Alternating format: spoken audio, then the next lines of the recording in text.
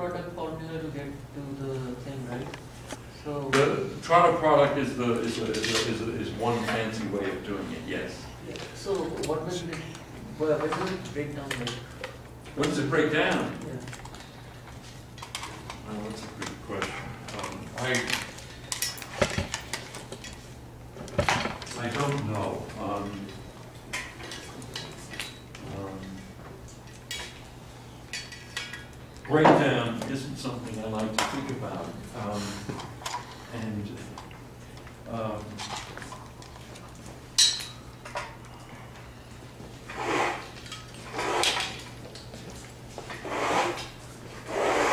Why don't we talk about that after class? There is an example that is way in the back of my head that, um, uh, that, um, a case in which the normal path of formula that you expect doesn't occur and you need a complicated extra factor. Um, But whether that's a breakdown of the Trotter product formula or whether it just follows from this, I don't know. Um, Okay, so if, if, if you just multiply out these exponentials, you see there's a piece, of course, that doesn't depend upon x in both cases. And so that means that you have minus infinity to plus infinity e to the minus i a x squared plus i bx dx is equal to square root of pi over i a e to the i b squared over four a and integral minus infinity to plus infinity e to the minus rx squared plus cx dx is square root of pi over r e to the c squared over four r. I don't know why I use so many different letters, but, um, anyway, these, these, um, Um, are there caveats on what A can be, given that it's multiplied by? Oh, five? hey, that's a very, very good question. I should have mentioned that.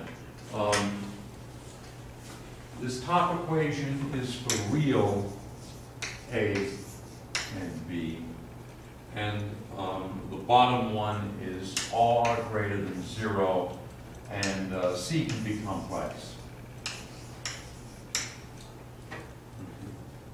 So C is complex, but obviously uh, R. Well, I'm saying here positive R. R could probably be complex as long as the real part is positive. Um, But I should probably add.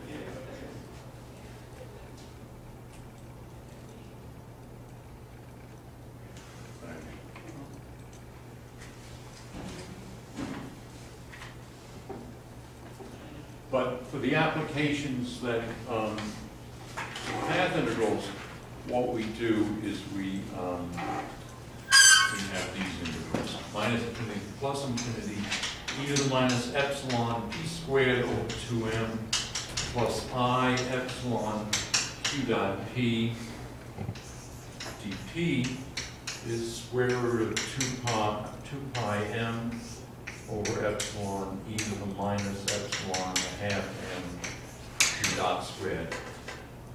Okay, so you see, for a free particle, the Hamiltonian, of course, is p squared over 2m. Epsilon is dt. The q, the q dot p comes from inserting uh, eigenstates of q, the matrix elements of eigenstates of q with eigenstates of p, and that gives you uh, this term. So you have q at two different terms, and um, so that's that, how that works. Um, I'm just wondering, why does one bother with the q states at all in the case of um, uh, case in which the Hamiltonian is just p squared. No, Normally, you have a v of q in there. You were gonna say? I mean, the, the propagator is between some initial qa to some final Q, and you Right, it, uh, right. different Qs. So you, you insert these time slices, which you integrate all of them over all the possible Q values. Yeah, but just to pursue this a little bit, it- this, of course, is the, the, um, the e to the minus theta h case. Um, Even if you had a q here, you could um, insert the p's. Then you'd have one factor here, but then you'd have e to the minus h p squared over two m. And then you could put another P here. P one, P two, and so forth. Yeah. Yeah, you can do that. Right. And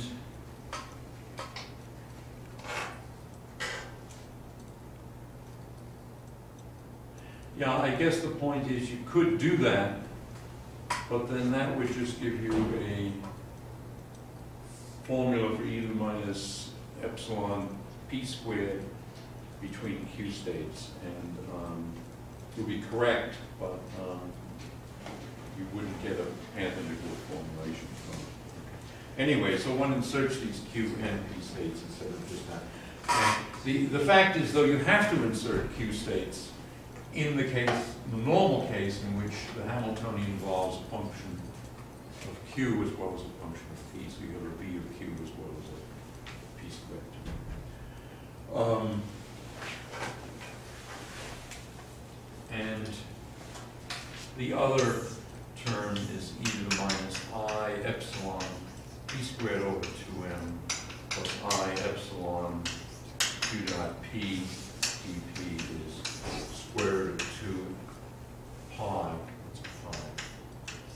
M, and this is over i epsilon, e to the i epsilon half m q dot squared.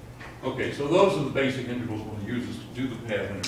I don't think I should go through the whole shtick about path integrals, but there is one aspect of it that um, I didn't emphasize when I went through this in the course that I think I should emphasize now. Um, And it's, uh, let's just, let me just go quickly to the matrix generalization of these. For example, you can have minus infinity plus infinity, e to the and I'll just use summation convention. Whoops, this is a C. No, that's an X. xi squared plus ci xi dxi. So we're doing dx1 dx and plus a capital N. This thing then, just using this formula n times, you see it is, um, pi to the n over two divided by um, a product of r1 up to rn, big square root, and then e to the one quarter ti squared over ri summed over i. And um, if you rewrite that in matrix notation, it can be written as e to the minus x transpose a matrix R, which is diagonal in this case, x plus c transpose x, c dot x if you want, and um, dx1, dxn, and then this is again pi to the n over 2. And now this is the determinant of r, square root of the determinant of r, and then the e to the 1 quarter c transpose r inverse c. Okay, well, this, um, any positive symmetric matrix S can be diagonalized as OR, O transpose. And, um, so we can, so th- this is a, a, a multiple Gaussian integral involving a diagonal matrix. but we can go to a, generalize it to an arbitrary positive symmetric matrix by just uh, inverting this formula, and in other words, setting R equal to O transpose S O. O is orthogonal, so O transpose O is the identity. And um, if we now substitute for R in this equation, what we get is an integral E to the minus X transpose O transpose S O X plus T transpose X. And I'll just write this, let me write this as capital DX, just to make it easier. Pi to the n over two divided by square root of determinant, and the determinant of S and the determinant of R are the same because the product of the determinants, the determinant of a product is the product of determinants, and the determinant of an orthogonal matrix, in fact, is unity. Um, so it's this, and then E to the one quarter, C transpose, O transpose, S inverse O C. I'm also writing, well, no, I'm just substituting for R. And then if we write Y is equal to OX, um, and then we realize that, and we also set D equal to OC. D is probably a bad choice of notation, but anyway, D is OC. Um, and then we notice that the Jacobian partial y, partial x, the determinant of that is just one because this is an orthogonal transformation. What we get is integral e to the minus y transpose sy plus d transpose y dy, or since we're changing x to y, I'll write this more carefully, dy one, dy n equals pi to the n over two divided by square root of the determinant of s. And now e to the one quarter d transpose s inverse d. So that's a general formula. and the anal, there's an analogous formula for um, the imaginary case, in other words, e to the mi- minus i h t, and that's e to the minus i y transpose s y plus i d transpose y and then again, I'll just write it as dy is equal to, again, pi to the n over two, divided by square root of the determinant of is, uh, e to the i over four, e transpose s inverse d. Okay, so you might wonder, why have I gone through this in so much detail? Well, there's actually an important lesson here that's very general and of, of, of some use. Let's, let's look at this, uh, the argument of this exponential, and let's ask, this is a quadratic form in y. We can ask ourselves, when is this stationary? Well, it's in fact stationary, of course, at the minimum. In fact, had I not expanded these roots, we'd be over here at this, and we'd be asking the question, when it, look at this exponential, for what value of x is this exponential stationary? Well, the value of x, when it's stationary, is at the bottom of this thing. It's when x is equal to c divided by 2r. And um, so that's when, when it's uh, stationary. And what, what you can do then is say, well,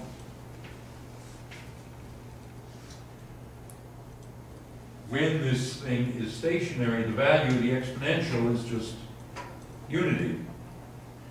And so, and you can see then that this integral is equal to unity times a factor, square root of pi over r. Well, if we go over here and we look at this instead in this, this form, we would say, well, when is this exponential here stationary? Well, it's stationary for y bar equal to one half s inverse t.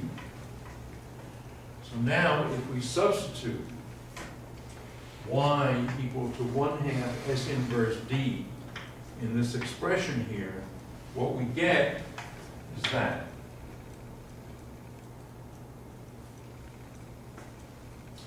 Um, just, just to verify that, what we would get from this would be minus y transpose is d transpose.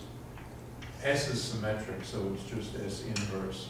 There's a one half, then there's an S, and then there's a Y, which is a one half S inverse D.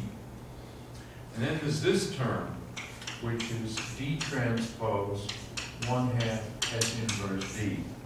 Well, if you cancel the S with the S inverse, you say that, th- you see this is minus a quarter D transpose S inverse D, plus a half D transpose S inverse D, well, then indeed is a quarter D transpose S inverse D. You can do the same thing over here, you can say, when is this exponential, uh, this, the, the argument of the exponential stationary? And in this case, it's, um, y bar equals, uh, S inverse D over two. Again, I'm wondering, did, did I make?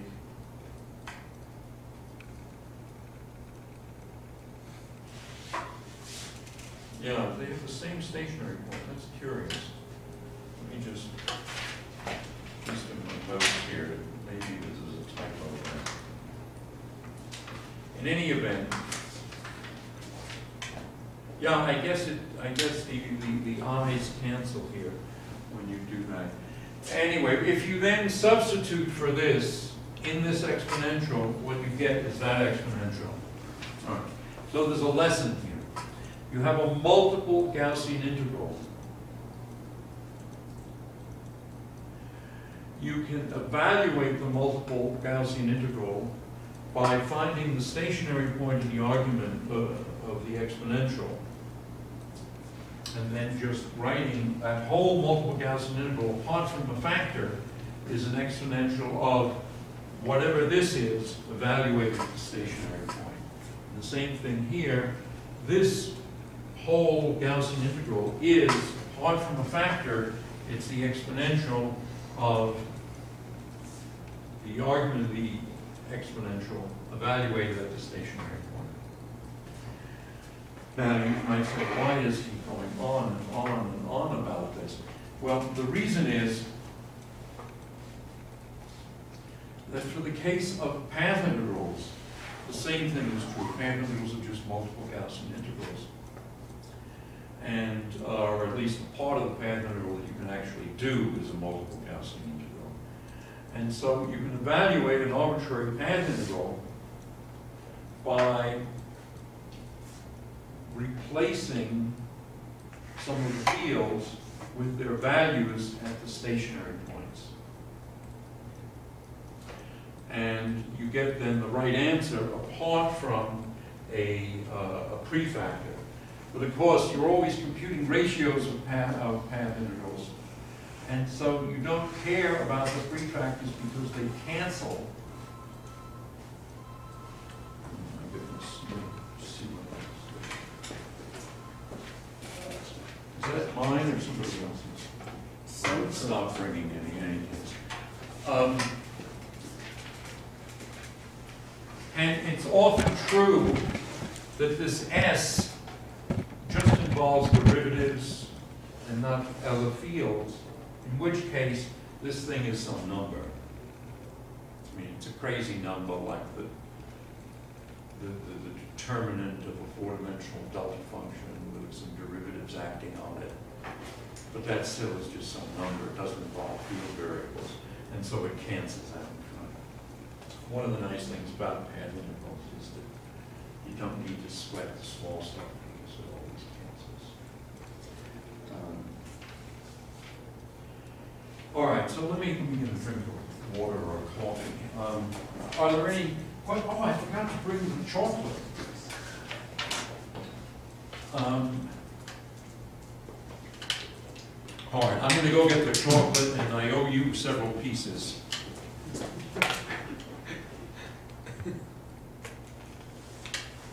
You're still gonna film this part? So do we have only five students this semester? Um, No, there there's should be seven more. Oh, are they still in the same campus? as well? No, they're not here. Oh, yeah, on the first day?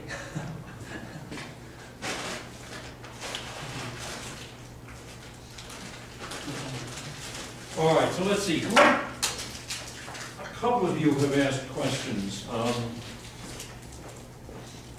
Let's see, I know you asked a couple of questions. Thanks. Thank, fact, sorry, so here's two. And you asked a couple of questions. And I- didn't you ask one? Um, no, not really. Anybody else? I just asked one. So this S, what if it is not, uh, if it is just some general matrix instead of being symmetric?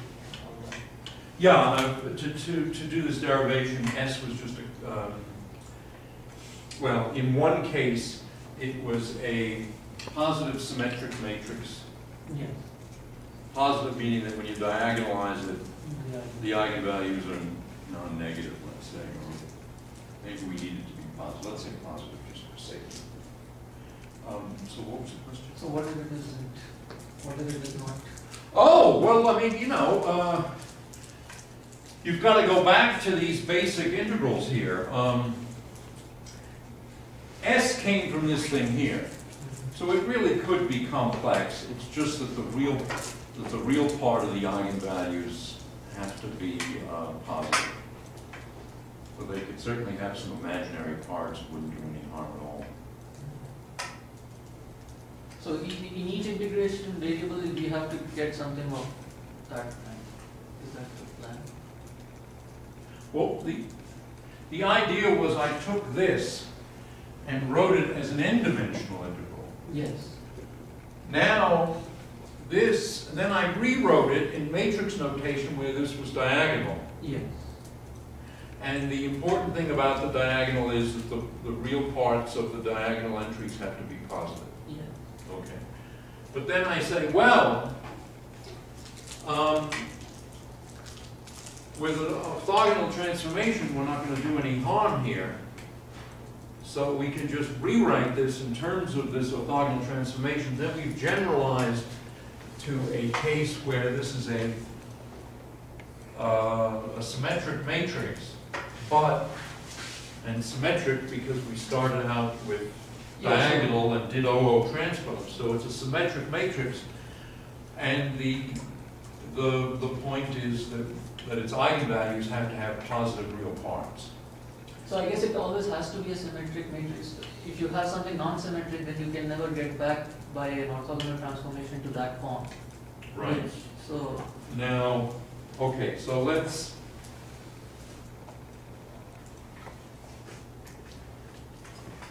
Yeah, well, I mean, so, so, so it's, what you're asking is,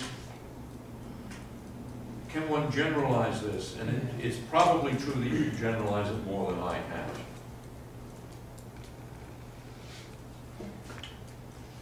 I think it will not be possible to generalize. Because the, I, I think if you, so the idea here was that you, once, in each individual variable, it has to correspond to an integral of this kind, right? Or- Well, that's, that's the way I'm deriving it. Um,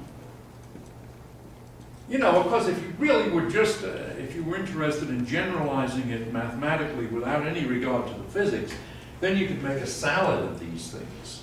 Yeah, You could mix this with that. yeah, so there will be some complex. So then it would be more complicated, you know.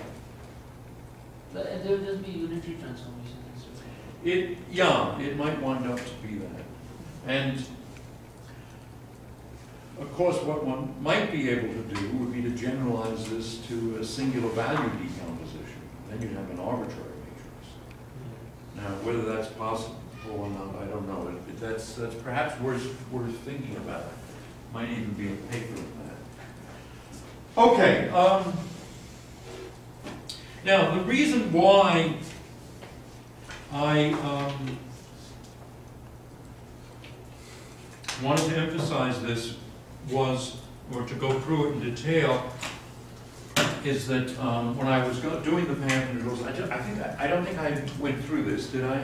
You did, Huh? you did. Did. Oh.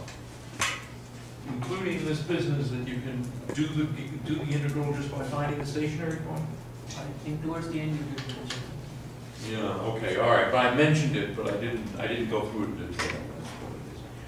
Okay, well, let's go now to, um, the case of, um, a, uh, Yang-Mills theory, and, um, so we'll be talking about the Lagrange density that I already wrote on the board over there, so there's no point in rewriting it. Um, and the question is then, what do you do to, um, to uh, quantize this theory? So I'm, I'm gonna review, shall I review this or not? Uh, It's, it's the business of the axial gauge quantization. Um, Um, I, I would like to see that again. It's been time since I've seen that. All right, let's, let's, let's, let's, let's see. So pi alpha zero is the partial of the Lagrange density with respect to the time derivative of A zero alpha. Now, what you can see from the structure of this, let me go over here, the structure of F mu nu, F mu nu is anti-symmetric. So if nu is zero, and, and you want mu to be zero, so that you get a time derivative of the zero component, you need both mu and nu to be zero. But then f mu nu itself would be zero, because it's anti-symmetric in mu and nu. So you'd have d zero, AA zero minus D zero, AA zero, plus G FABC, which is anti-symmetric, AB zero, AC zero. The anti-symmetry in BC would make that zero. These two terms would cancel. So FA zero zero is identically zero in any non-abelian gauge theory. Also in any abelian gauge theory. The result is that there isn't any term P zero, A zero. And so this derivative here, zero. So that says that the momentum canonically conjugate to this particular variable is zero. So that's a constraint. And then if you diff, if you find the, the Lagrange's equation for the zeroth component, it's the following, it's minus d mu partial L partial d mu A alpha zero. Here I'm following Weinberg's notes, which I put online, well, Weinberg's book actually. Plus partial L partial A alpha zero. And this looks slightly unfamiliar because he introduced an overall minus sign. I'm not sure why.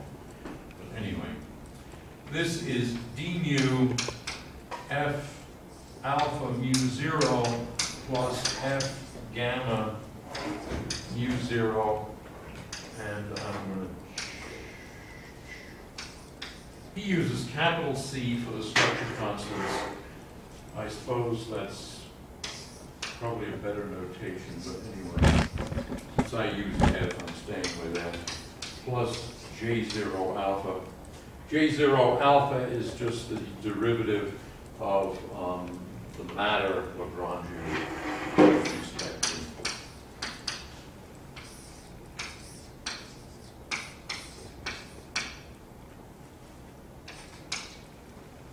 Okay, so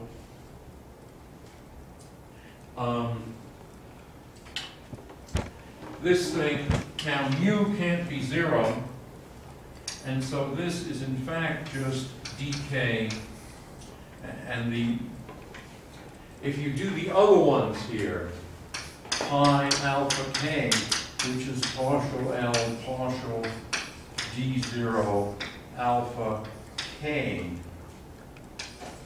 a alpha k, this will be, um, f, um, let me get my indices right, because you didn't use this particular, um,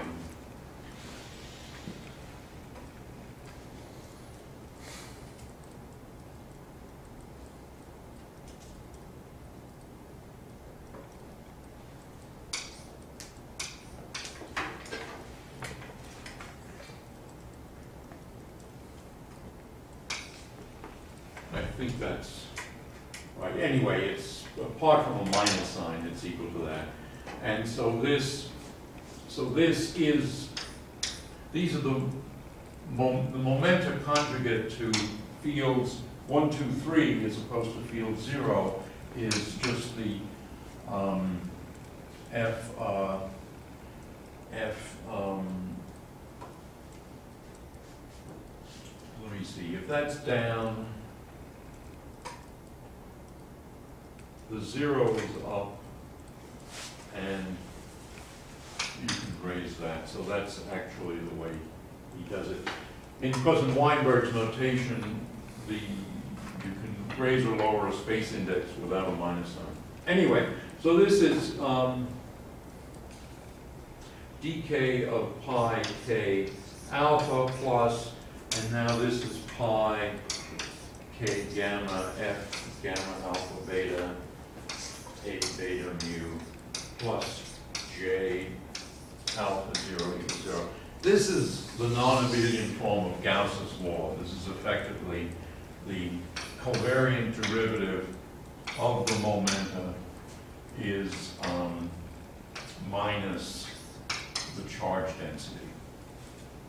So it's the non-abelian form of Gauss's law. Anyway, so there are these two constraints, that pi alpha zero is zero, and then Gauss's law, which is just the non-abelian version of Gauss's law. And, um, so the, the way one quantizes such a theory is to fix a gauge, and in, in the non-abelian case, what people often do is choose what's called the axial gauge. And that's A alpha three equals zero. Alpha here for SU two runs from one to three. For SU three, it runs from one to eight. And so one sets the Z component of the field equal to zero. Um,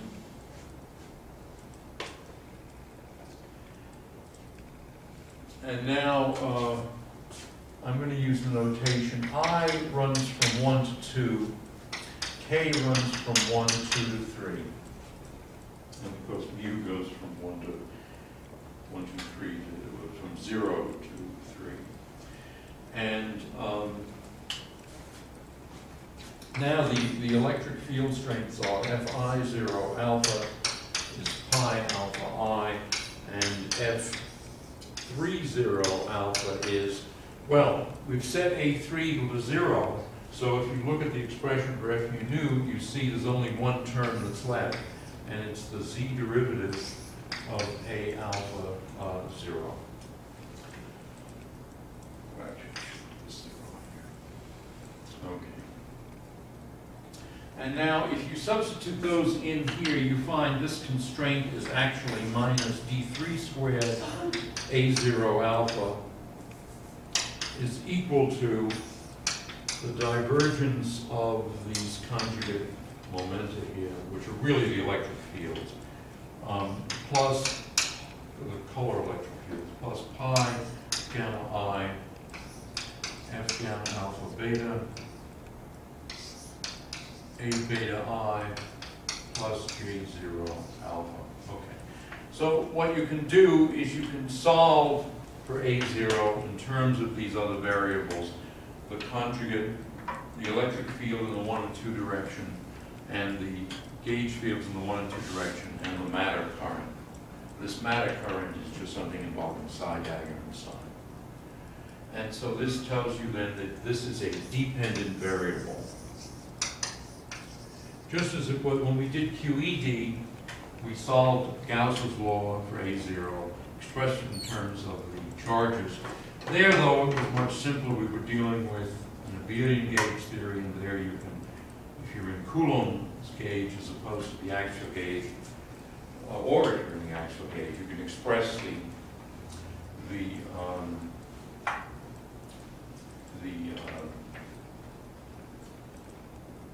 field A zero in terms of charge density. It's just, just to remind you, it's something like this, um, one over four pi integral.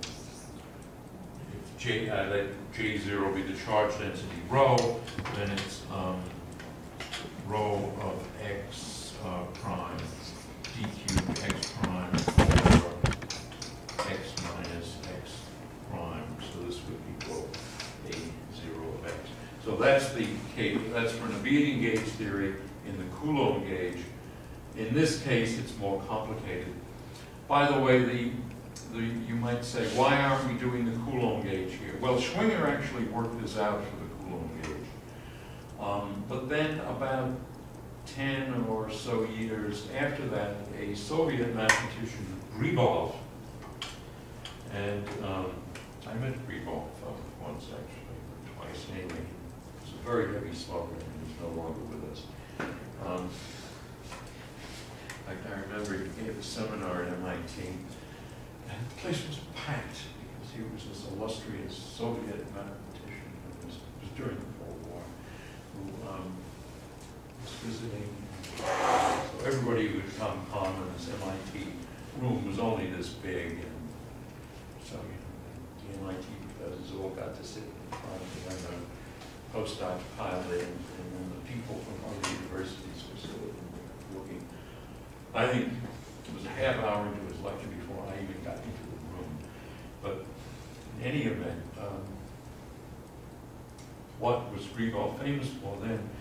What he was famous for, he was pointing out that um, in a non-abelian gauge theory, if you try to solve Gauss's, the Gauss's law, if you have the condition del dot A equals zero, del dot A alpha equals zero, and you then try to solve Gauss's law for A zero alpha,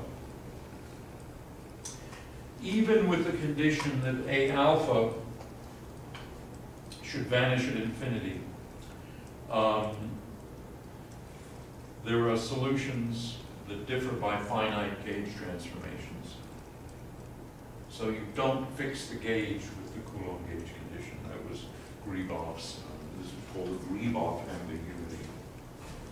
Gribov also said something else that I think is very interesting and possibly true, and has been almost completely ignored, which is he suggested that the confinement of quarks may be because the U and D quark have such light masses and the coupling constant is so strong, at least at longer distances or lower energies, let's say, that um, the uh, you just pop U and D quarks out of the vacuum to uh, U and D, Q, Q, UU bar pairs, DD bar pairs out of the vacuum to shield any uh, uh, non-abelian electric, color electric field, and that's the real reason why a quark confinement. And he may be right, I don't, I don't know, it's regarded as a somewhat theoretical opinion, but uh, it- so let's put it this way, it's the only explanation of confinement that one can formulate in a few words and have it understood. Um, The other approach is, well, you put the theory on lattice, you change the theory into a dis, into a compact gauge theory, a compact lattice theory. Anyway, you go through the whole Wilson formalism, and um, you then see some evidence but to what extent that's an artifact is another, is, is, is for. Anyway, if you compute the Hamiltonian density, what you do is you take the momenta times the, this is, in other words, this is pi qi dot minus L, okay? So H is pi qi dot minus L. Here, it's the conjugate momenta, the time derivatives for fields, uh, minus L, and if you add in the part for the matter fields, then it's P zero psi L for L, if L labels the matter fields. You subtract the Lagrange density there. Let me just see what the time is. Oh boy, we're almost out of time. Let's uh, say that if you do that, um, what you wind up with is you wind up with the Hamiltonian for the matter field that you expect, and then you get something pi alpha i pi a alpha zero minus f alpha beta gamma a beta zero a gamma i and then plus a half pi alpha i, let me just square it, plus a half f alpha j squared. So this is b squared. Um, and then for the case of, and this, where i and j just go over one and two.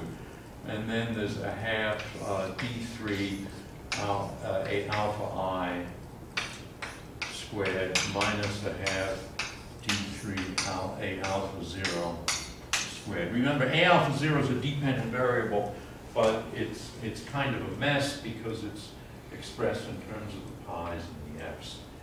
And um, in fact, well, pi's are the s and the j's, so the matter variable, so it's rather complicated. All right, so that is your um, Hamiltonian density. And now, so let me just, let me just sort of abbreviate this. What happens is, if you now take this Hamiltonian density, you insert complete sets of states which are eigenstates of A, alpha i, and then also eigenstates of pi, beta j, say, and e to the minus i epsilon h, where h is the integral of the space of that density. And then you, you, you go through the whole shtick. What you have then is a path integral, and it will be e to the, and let me just skip. It will be something involving, well, all of these structures plus extra terms. So in other words, it's going to be something like, um, pi alpha i, d zero, a alpha i. So this is like the p, um,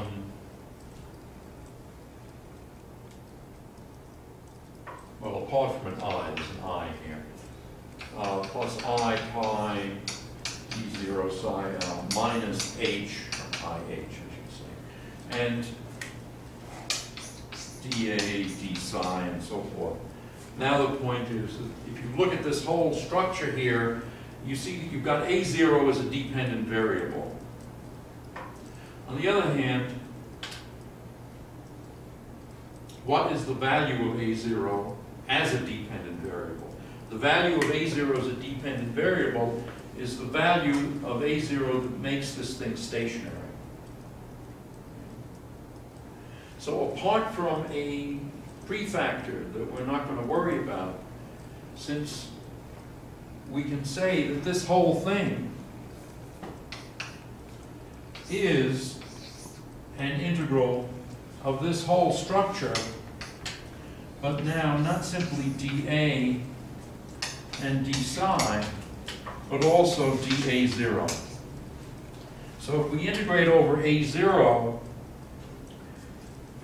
that's the same thing as just not integrating of A0, but replacing A0 by the value that makes this thing stationary, which is the whole shtick that I went through in the beginning. Okay, the upshot then, if you actually go through all this in detail and keep careful with everything, is that your path integral looks like this. It's e to the i, the Lagrange density, d fourth x you integrating them over all of the fields, but you have a delta functional here of A3. So you're, so in other words, it looks as though you're integrating, and you might as well integrate over, so far we're integrating over A1, A2, and A0. You add in A3, it doesn't matter because you have this to set A3 equals zero. So you're integrating over all the fields. You have the gauge invariant action, and then you have a gauge fixing term. And so that is basically, um, So the only modification is that gauge fixing term, right? Yes. And um, so what I want, what I want to do next time then is to show you the Faddeev-Popov trick and the ghosts. Oh, yes.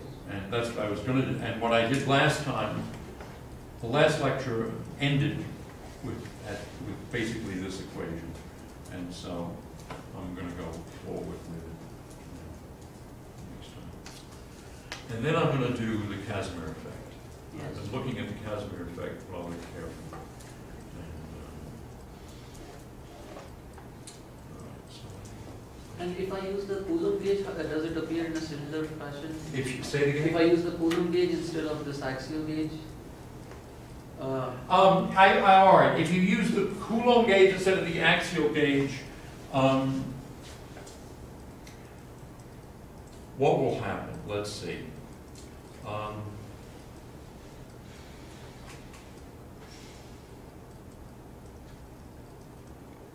Well, let me go to the, let, let me go, let, let's, let, let- let's figure that out by using the Faddeev-Popov trick. The Faddeev-Popov trick is that you can rewrite this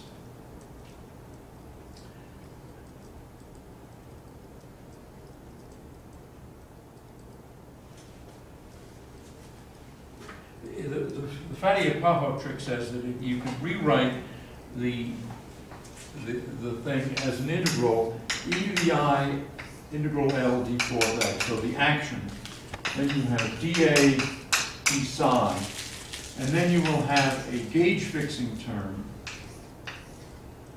Uh, and then you will have a correction factor that is a determinant. And you'll have then a determinant here. And so what will happen is you'll have the Coulomb gauge factor and then a determinant that's unique to the, it's, it's basically a Jacobian of how del dot A changes under an infinitesimal gauge transformation. It's that determinant, and then that throws, um, that throws this determinant up into the, up into the, uh, action.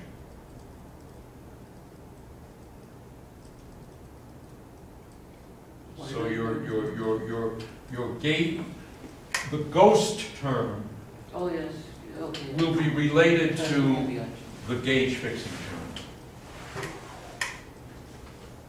But, um, nobody uses the ghosts. No, no, people use ghosts, nobody uses the Coulomb gauge because it's very complicated. Schwinger was incredibly good at calculating, especially, uh, he could calculate anything, but if it was fancy stuff, he could plow through it. And simple stuff also, he could do everything. And, um, so, uh, he did it, but, and it might be useful to do it, but essentially nobody does that. All right, let's turn the thing off.